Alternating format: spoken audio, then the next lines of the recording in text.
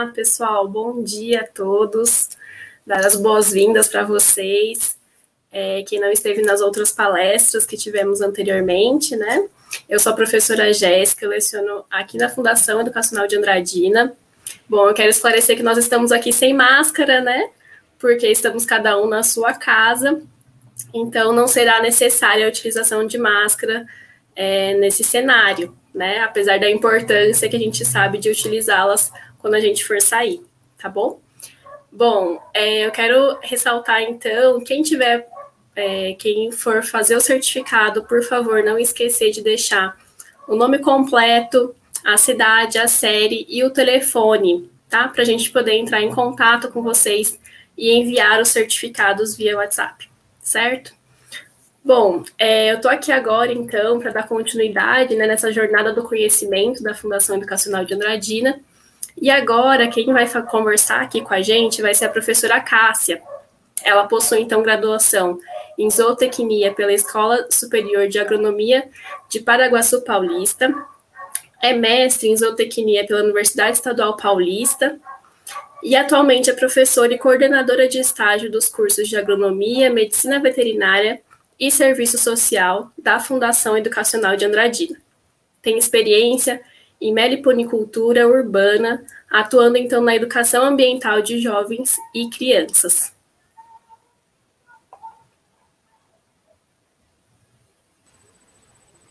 Bom dia, Jéssica, professora Jéssica. Tudo bem? Tudo bem. Tudo. Bom, quero dar as boas-vindas então aqui para você para conversar aqui com a gente hoje. Obrigado, Jéssica. E hoje nós vamos falar sobre os impactos do, é, dos insetos sobre o meio ambiente, né?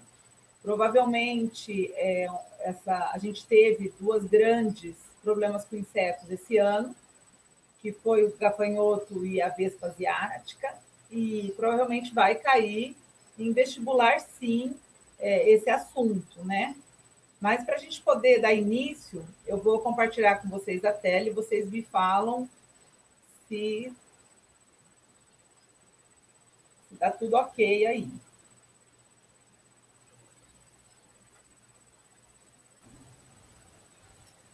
Certo, Tudo certo, professora, certinho. Que bom. Então, a nossa jornada ao conhecimento, né, onde a FEA está trazendo os profissionais para falar um pouco das atualidades. Eu sou, como a Jéssica falou, zootecnista e sou meliponicultora urbana. É, muitas pessoas nem sabem o que é esse nome tão feio, esse nome comprido, né? Meliponicultura. Meliponicultura é a criação de abelha sem ferrão. Então, eu crio abelha sem ferrão na área urbana. E eu tenho um projeto com a fundação que chama Resgate Urbano, onde a gente faz o resgate de abelhas. Nós iniciamos com abelha sem ferrão, que é a jataí, né? a mais comum, e hoje a gente já faz é, o resgate de abelhas apis com ferrão. Então, é, a abelha é um inseto e nós vamos falar sobre isso hoje. Esse problema, esse impacto dos insetos sobre o, o ecossistema, né, o meio ambiente. Para a gente falar de inseto, para vocês terem noção em proporção dos insetos, estima-se que 80% de toda a espécie de animais do planeta sejam insetos. Então, hoje a gente tem aproximadamente descritos quase um milhão de espécies, mas acredita-se que existem muito mais, mais de 2,5 milhões de espécies, ainda que faltam ser descritas. Então, é um mundo ainda que tá, a gente está é, caminhando para o descobrimento dele. É, e muitas vezes os insetos são vistos de uma forma como ruim, como praga, né? A barata, o pernilongo. E o inseto, na realidade, ele possui oito ordens. Eles são do filo Artrópodes, da classe insecta, e eles possuem oito ordens. E a, a gente tem que ver que insetos não são apenas baratas, é, formigas, abelhas, nós temos uma gama muito grande né, de, é, desse grupo, dessa classe de animais. Então, nós temos as libélulas, percevejos, pulgões, baratas, grilos, é, besouros, borboletas, moscas, mariposa, vespa, formigas. A gente tem uma classe muito, a gente tem muitas é, ordens, né? Não é apenas uma é uma classe muito ampla, muito diversificada. E a gente sempre, quando pensa em inseto, pensa na, nas coisas ruins. Ah, inseto transmite doença. Nós temos aí, tivemos uma palestra que vocês já tiveram. Se não tiveram, podem depois assistir, de zoonoses, aonde a gente tem os vetores aí, né?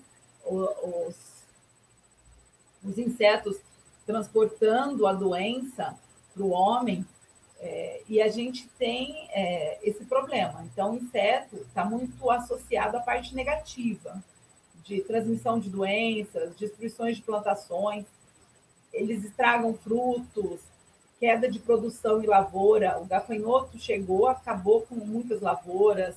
A pecuária, nós temos moscas que atrapalham muito a pecuária e a agricultura. Então, estima-se que a gente tem uma perda na pecuária e na agricultura de 5 bilhões de dólares por ano devido aos insetos.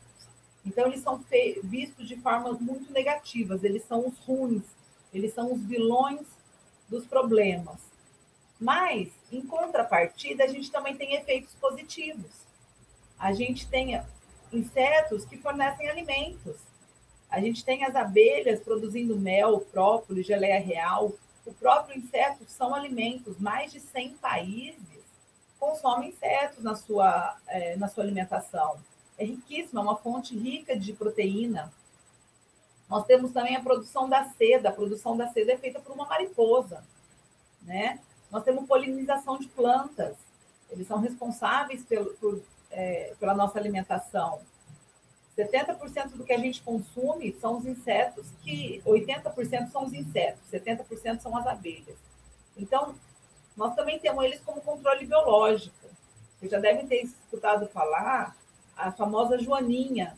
A joaninha, ela é ótima para combater pulgão e conchonilha na, nas plantações. Então, a gente tem, é, os insetos fazem parte de uma cadeia alimentar muitos répteis, aves, precisam dos insetos para se alimentar, é, faz parte da sua dieta. Eles também possuem compostos usados em medicamentos. Nós temos aí a toxina sendo usada para o combate do reumatismo. É, eles também estão na, trazem para a gente o benefício da decomposição orgânica. Formigas, cupins, eles são responsáveis, barata, por comer né, por decomposição e voltar para a terra é, a parte que está morta. E as baratas, até pelo nosso resíduo, elas fazem essa decomposição. Não da forma que a gente acha bonito, né? A gente acha nojento, mas são responsáveis. Eles também medem impactos ambientais. Eles servem como um medidor de impacto ambiental. Um lugar que não está com animais e plantas em equilíbrio, a gente tem, a gente vê pela quantidade de insetos. Se não tem inseto, nós estamos com problema. E se tem muito, também estamos com um problema. Então, a gente tem como medir impacto ambiental através da avaliação dos insetos naquele, naquele bioma, naquele local. E eles também servem como bioindicadores, principalmente da qualidade da água. Muitos insetos. Se inseto não está na, naquela água, você não vê libélula, não vê insetos é, é naque, naquela fonte de água, muito provavelmente aquela água está contaminada ou tem um problema sério. Então, os insetos não são totalmente ruins. Eles têm um lado positivo que contribuem para a humanidade. E se a gente é, analisar, um lado nós temos os insetos. E se a gente colocar todos os vertebrados do outro lado, que é o homem, os mamíferos, os répteis. Se a gente colocar dois grupos, insetos contra vertebrados, eu garanto, eu não. Isso já é comprovado de que sem os insetos nós não temos ecossistema. Então eles são muito importantes. A gente consegue se perder é, o vertebrado, uma classe de mamífero que entra em extinção, tem prejuízos? Existem prejuízos. Existem dano ao meio ambiente, ao ecossistema? Sim, mas eles não são totalmente dependentes desse ecossistema.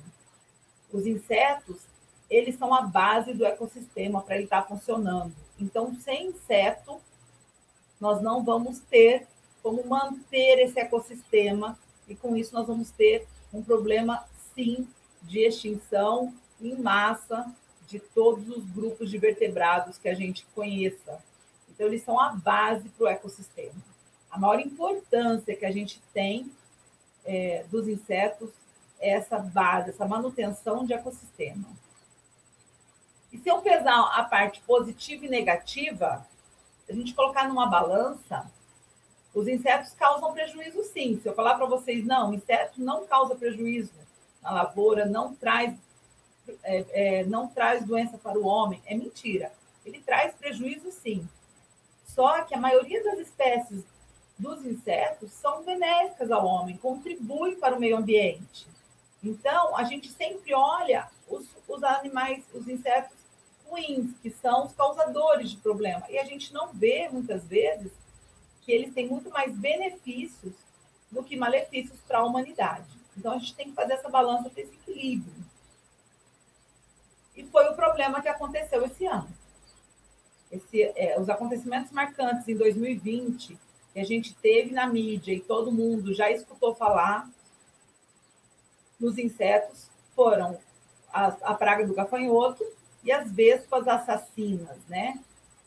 Então, se a gente for ver, na realidade, o problema com gafanhotos que nós tivemos não foi é, um problema de causado pelo, pelo inseto. Pelo contrário, foram nós, foi a humanidade que a gente está acabando, quebrando o nosso meio ambiente, a gente com o desmatamento, com a poluição, a gente está fazendo as mudanças climáticas de uma forma mais intensa, e com isso a gente teve esse problema dessa praga.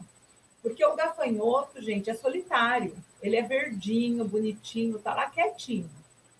Ele não vive em grupo devido ao clima seco e quente, desperta no gafanhoto uma mudança, uma alteração do seu organismo.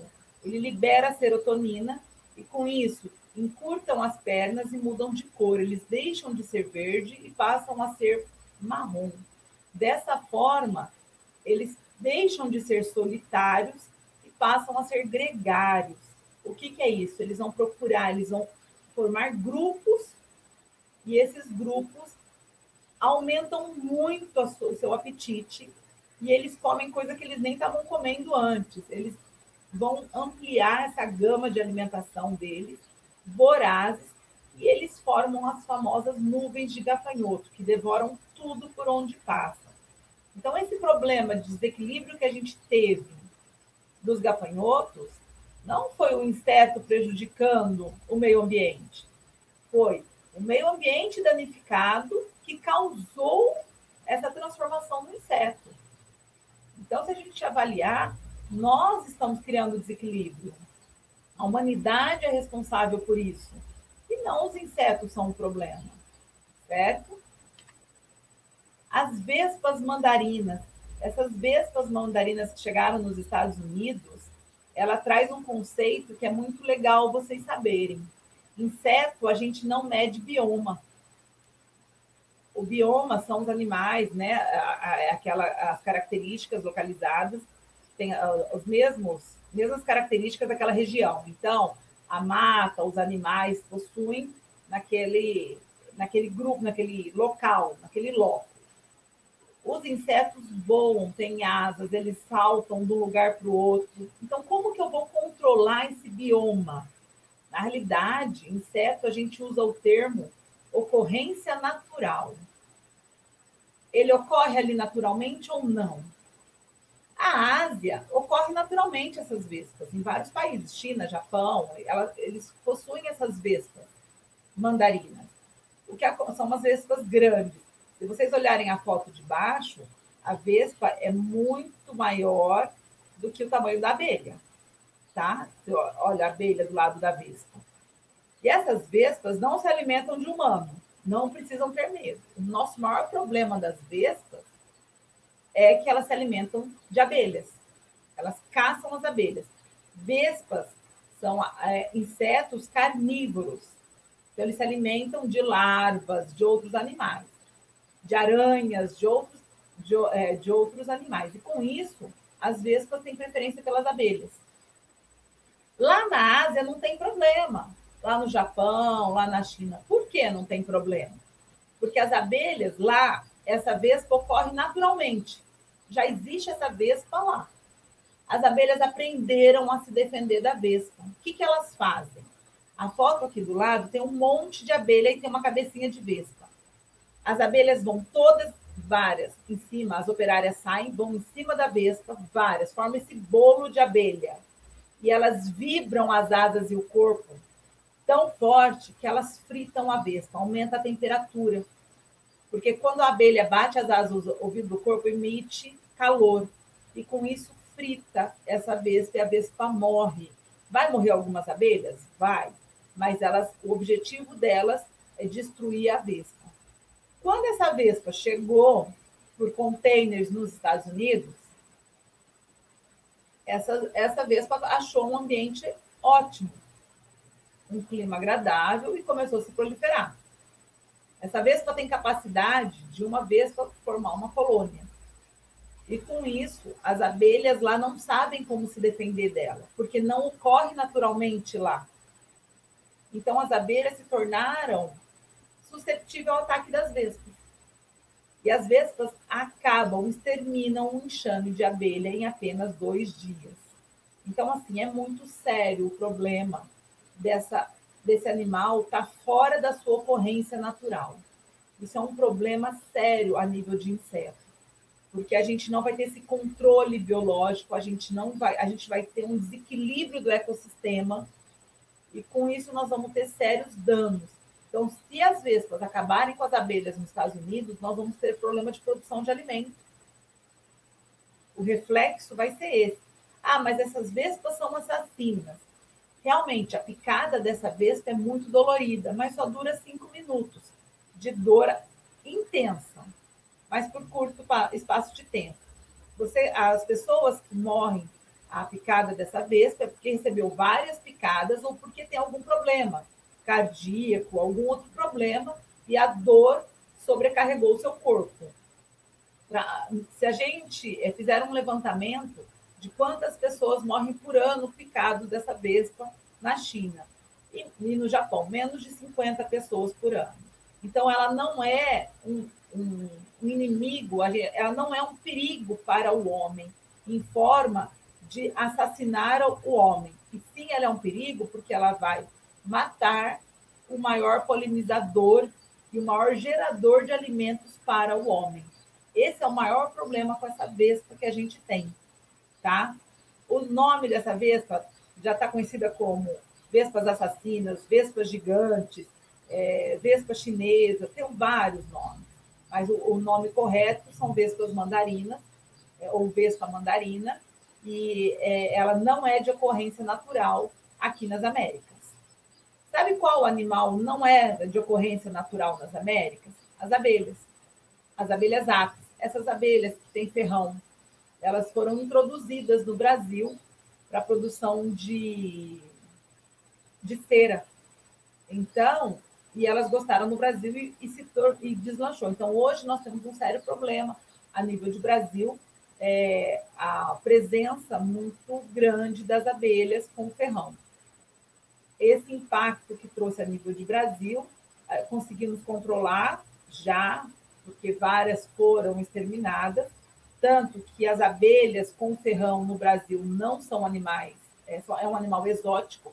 Hoje ela é, ela é colocada como um animal doméstico, então, ela hoje ela passou, deixou de ser um problema no Brasil, mas quando ela foi introduzida foi um problema muito grande a nível de Brasil. Agora, se essa vespa se instala lá nos Estados Unidos, nós não, nós precisamos fazer o quê? O que, que nós vamos ter que fazer? Eles estão lutando para acabar com os enxames, detectar e acabar, porque se essa vespa se instalar lá, vai dominar os Estados Unidos e vai dominar não só os Estados Unidos, vai descer para o México e vai chegar aqui na gente também, tá? Porque eu falei para vocês, inseto têm asas, eles vão longe. E com isso, a gente vai ter um problema sério, porque até as abelhas daqui da América aprenderem a se defender delas, podem ter sido exterminadas. Ah, então a gente vai ter que fazer o quê? Trazer o inimigo natural dessa vespa também. A gente vai ter que mexer numa cadeia alimentar toda. Olha como é complicado isso. Então, o, o correto é fazer o que os Estados Unidos está fazendo, que é eliminar. Essa palavra exterminar é feia, mas é muito usada em insetos. É eliminar esse, esse inseto que não ocorre naturalmente lá na sua região. É a melhor forma de controlar agora, tá? E aí a gente sempre fala, quando fala de insetos, as abelhas entram num grupo muito grande de importância para a humanidade, para o meio ambiente. E existem essa frase que muita gente é, comenta ou já escutou falar, que é sem abelhas, sem alimentos. Isso é verdade? Na realidade, sem abelhas, a gente não vai ter alguns alimentos. Existem alimentos que não precisam de abelha. Mandioca, arroz, cana-de-açúcar, abacaxi, não, eles não são alimentos dependentes de polinização das abelhas. Mas nós temos um 70% do alimento consumido pelo homem é sim produzido por um inseto, que são as abelhas. Existem outros polinizadores, borboletas, mariposas, moscas frutíferas, mas então o grupo de alimentos sobe para 80% dos alimentos são polinizados por insetos. Só que dos insetos, 70% são abelhas. Então elas são na polinização é o grupo com maior importância. Essa frase eu corrigiria se alguém é, cair em vestibular ou alguma coisa, que não é sem abelha, sem alimento. Sem abelha, nós não vamos ter quantidade e qualidade dos alimentos. Essa foto traz um morango polinizado por abelhas, que é um grandão bonito, que está do lado direito, e um morango pequenininho. Tá? Ele não foi polinizado por abelhas. Então, se a gente não tiver abelhas, não tiver esse grupo de inseto polinizador, nós só vamos ter esse morango, ó, para consumir. Só esse pequenininho. Nós não vamos ter esse grandão. Assim como o morango, várias outras espécies, de, várias outras é, frutas e plantas, né? Açaí, quem gosta de açaí precisa de abelha. Tomate, caqui, maracujá, guaraná, é, maçã, pera, quase todas as frutas de pomar, laranja, precisam de abelha. Então, é, elas são extremamente importantes quando a gente olhar a parte de qualidade e quantidade. Para vocês terem noção, falando em produtos da, da, agro, da, agro, da agricultura, a soja, se não tiver abelha, nós vamos ter uma queda de 40% na produção de soja.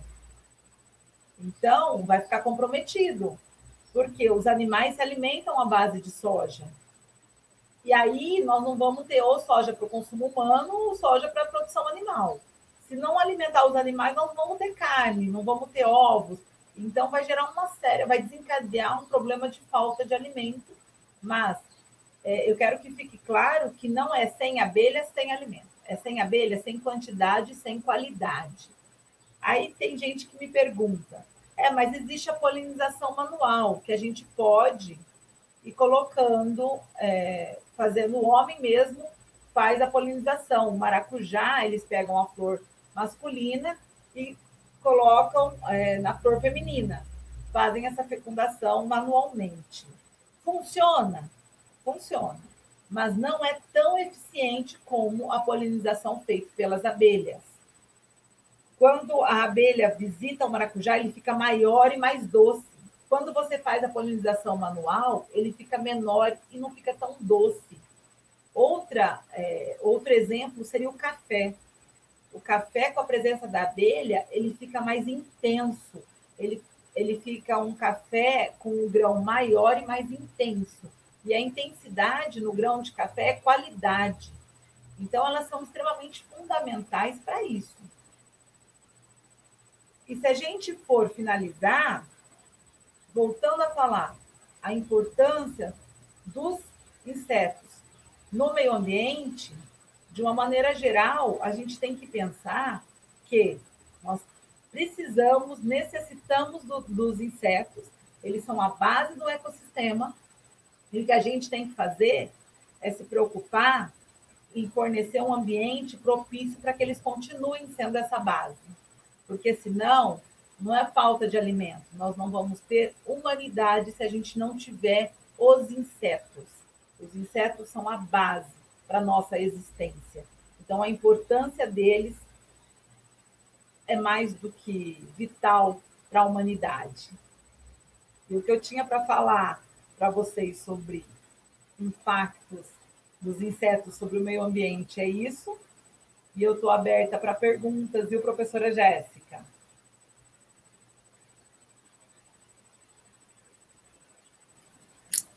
Oi, Cássia, me ouve? Estou ouvindo, Jéssica. Então, tá bom. É, logo no início da sua palestra, né, que você estava falando ali dos insetos, que muitas vezes a gente, é, igual você falou em relação às baratas, né, a gente tem aquela versão e tudo mais. Um aluno, inclusive, mandou aqui no chat para você, né, da função da barata no meio ambiente, e você acabou já explicando um pouco disso, né? Sim.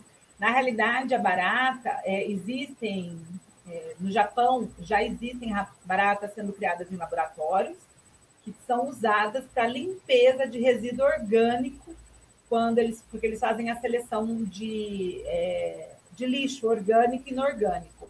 E muitas vezes o guardanapo, que é, é, inorgânico, quando a gente suja, limpa a boca, limpa a mão, ele, ele passa a ser orgânico, é, mas ele não tem a decomposição tão rápida. Então a gente a gente colocaria para barata esse guardanapo sujo e ela ia acabar é, fazer, é, agilizando esse processo de decomposição. O Japão está sempre na frente, né, Jéssica, em relação a esse cuidado, essa preocupação. Mas e aí vem outro, outro princípio. Por que, que eles têm essa preocupação e nós, brasileiros, não temos? Eles já têm esse problema de meio ambiente, de não ter espaço, de não ter nada, de não ter. Eles são. O Japão está numa ilha e com isso eles, eles têm essa preocupação de meio ambiente que nós, de países é, subdesenvolvidos e ainda que temos matas, ainda temos um ecossistema sobrevivendo, né? Porque a gente nem pode falar que o nosso ecossistema está é, bom, ele está sendo sobrevivendo é, e com isso a gente não se preocupa tanto. Tá? Eles estão na frente por isso. Pensando em relação ao espaço e tudo mais, igual você falou também, né? É. É, uma outra coisa assim, que me veio quando você estava falando, por exemplo, das, da, dos insetos, né? Que a gente teve, por exemplo, da nuvem de gafanhoto, que todo mundo ficou super preocupado, e né, aquela junção em relação assim, olha, tudo bem, a gente está com coronavírus, e agora esses gafanhotos, o que, que a gente vai fazer, né?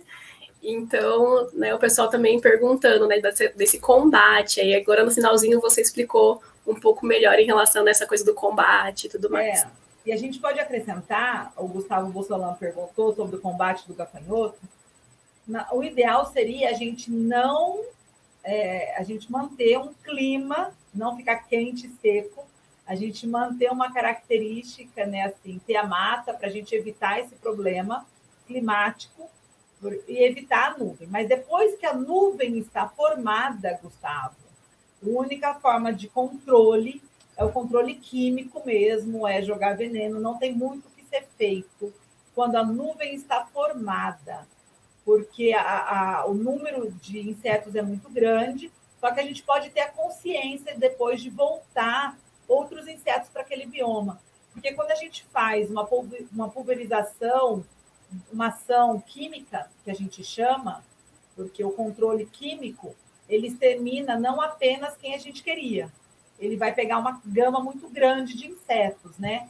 Mas a gente pode estar tá fazendo a reintrodução dos, dos insetos desejáveis naquele local, ter essa preocupação de estar tá, é, voltando essa, essa, esses insetos que foram atingidos por essa pulverização.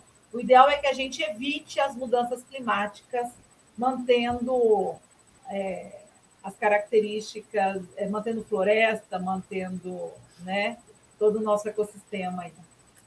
A gente tem aqui outra pergunta, né?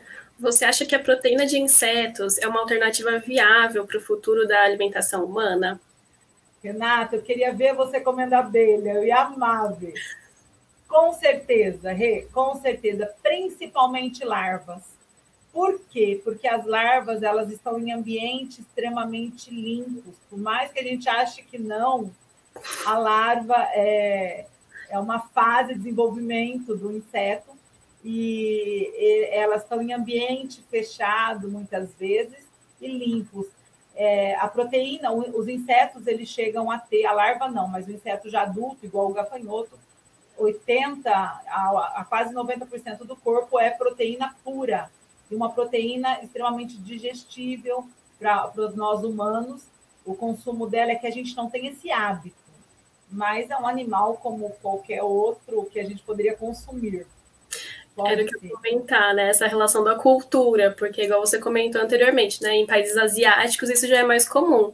Mas para a gente, assim, é uma coisa muito distante, né? Só que a gente tem que entender assim: o animal que vai, o, o inseto que vai ser consumido não é aquele, aquele que você pega ali no, no mato e come. Não seria isso. Para fazer uma alimentação humana, tem que ser feito um criadouro. Assim como a gente tem as granjas de suíno, as granjas de ovos, a gente teria as de gafanhoto, as de barata, as de grilo, para a gente poder ter um ambiente mais esterilizado, mais controlado, e dessa forma a gente ter é, um, um alimento com maior qualidade. Sim. Professora, a Luísa também está perguntando aqui, então, né? Sementes transgênicas são muito utilizadas atualmente, né? Quais seriam os impactos para os insetos se eles tiver, se existir esse impacto, né? Então, Luísa, se a gente for ver em evolução, que a professora Renata já deve até ter comentado sobre evolução, é, os insetos estão anos-luz à nossa frente nesse processo evolutivo e se adaptam muito bem a muitas mudanças. É, algumas sementes transgênicas, é, hoje, se a gente for ver todos nós, inclusive eu, que sou mais velha, o milho que a gente consome é transgênico.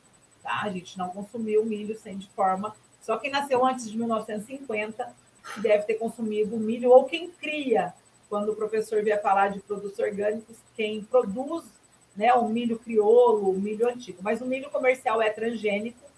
É, e o, o, alimento transgênico ele, ele entra no conceito de, da praga, desse inseto que é uma praga que ataca, diminuir esse ataque. Então, na realidade, ele deixa de ser interessante para esse inseto e o inseto para de se alimentar. Então, eles não chegam a consumir esses alimentos modificados, né? o transgênico, que é o modificado geneticamente eles tiram o atrativo que o inseto tem e com isso diminui esse impacto. Mas inseto é um processo evolutivo muito grande, eles se adaptam muito bem, Luísa. Não vejo assim um problema muito sério. O maior problema de inseto é o inseticida mesmo, é o combate químico, é o veneno. Esse eles não conseguem ainda é, sobreviver, eles são exterminados. Tanto, Luísa, para você ver essa evolução que eu estou te falando, as vespas, é, só, só existia vespa, a gente não tinha esse grupo de abelhas, a gente tinha um grupo de vespas. E as vespas eram carnívoras, se alimentavam de larvas, né? Tanto o marimbondo, o grupo de vespas são carnívoros. E com a falta no processo de evolução, é, com a falta de alimento, um grupo de vespas se modificou, se evoluiu para se alimentar de flores.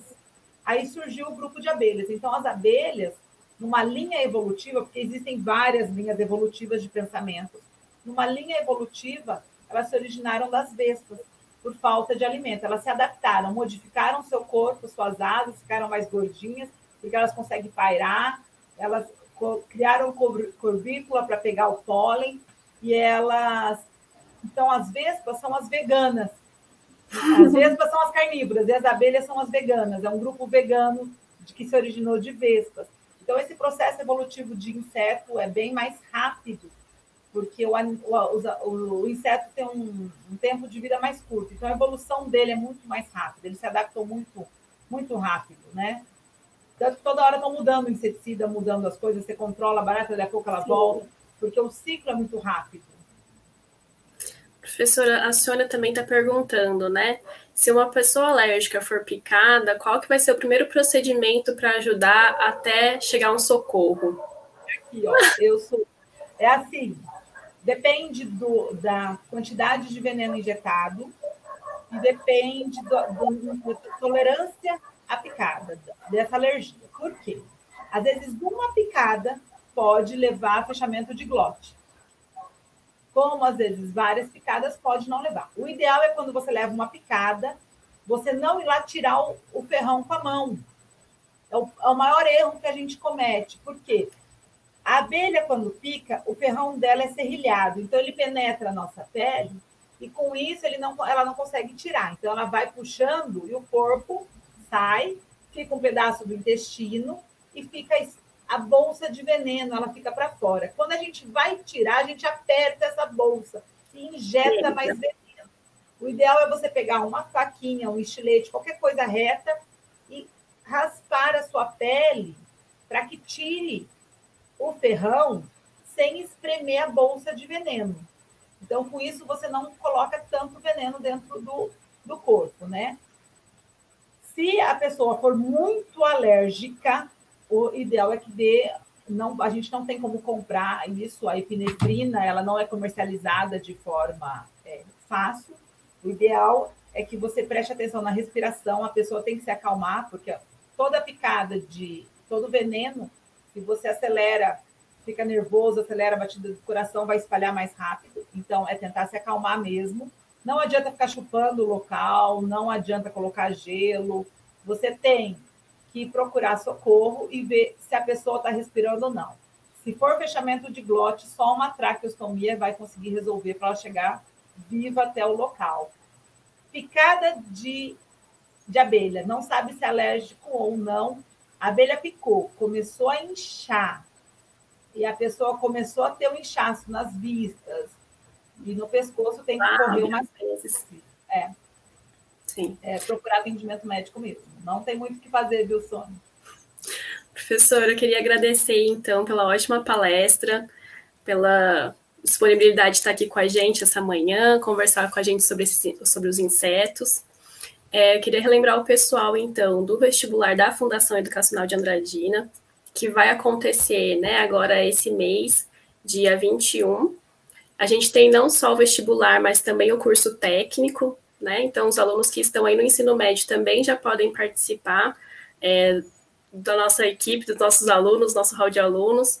A gente tem, então, o curso técnico de eletrotécnica, enfermagem, química e segurança do trabalho, além dos cursos de graduação em agronomia, direito, educação física, enfermagem, medicina veterinária e serviço social.